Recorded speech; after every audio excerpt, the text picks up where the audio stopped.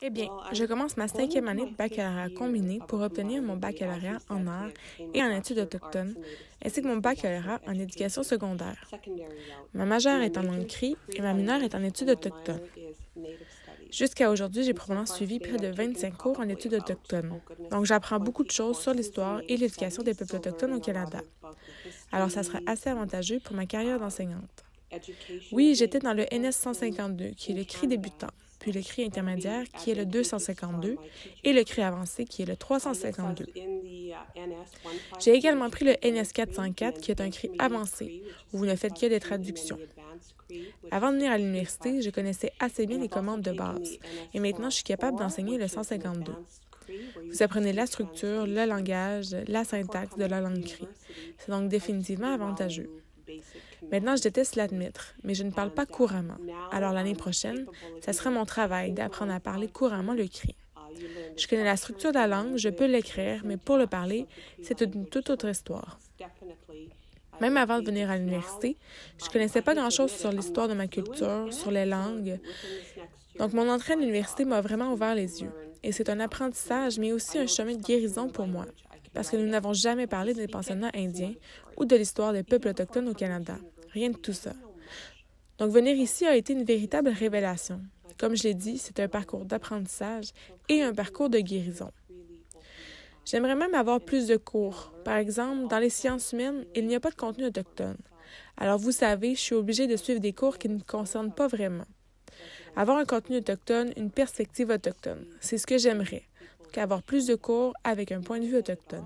So coming here was a real eye opener. So, like I said, it's a learning journey and a healing journey.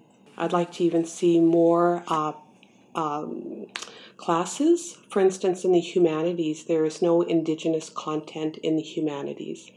So, you know, I'm forced to take um, courses that aren't really relevant to, to myself, you know, to have Indigenous content in, in it. an indigenous perspective. So I'd like to see more classes offered with with indigenous content in it from an indigenous perspective. Je suppose que c'est d'enseigner de manière holistique. Vous savez, nous n'enseignons pas seulement de manière linéaire.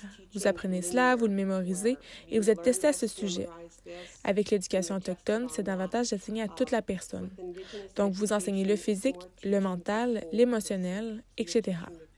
Donc, juste enseigner tout cela en prenant tout dans son contexte et dans son environnement. Comme vous le savez, dans toutes nos relations, ce Wakotowin.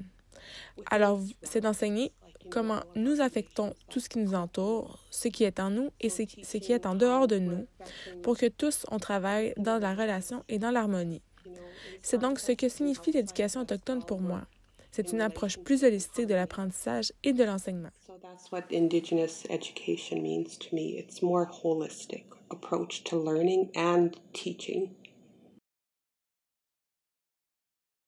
Certainement plus de programmes, plus de classes.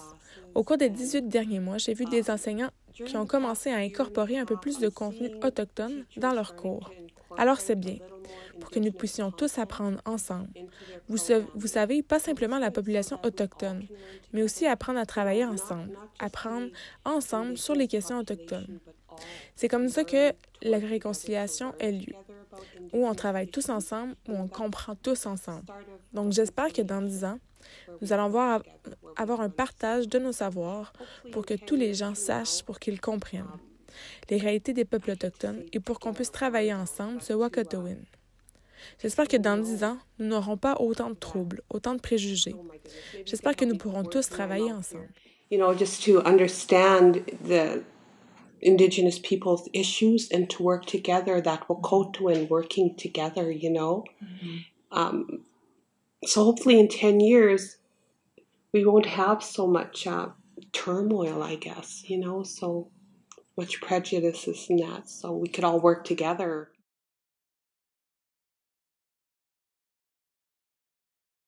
Il y a des années, nous n'avions pas vraiment d'auteurs autochtones, pas trop d'érudits autochtones. Et mon Dieu, ça a beaucoup changé.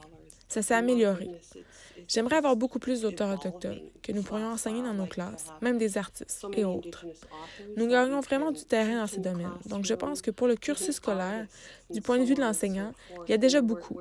Mais je suis sûre qu'il y a encore beaucoup à venir, définitivement.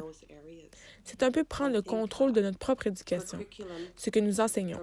Je ne devrais pas dire prendre le contrôle, car nous devons suivre le programme. Mais nous avons nos auteurs, nous avons nos historiens, nous avons nos artistes. Donc nous commençons à occuper le devant de la scène, plutôt que de recevoir des livres à enseigner.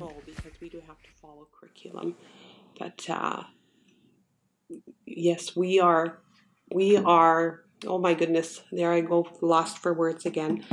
You know, we're making our own. We have our authors, we have our historians, mm-hmm. you know, we have our artists. So we're starting to take front and center stage now mm-hmm. rather than being handed the books to teach.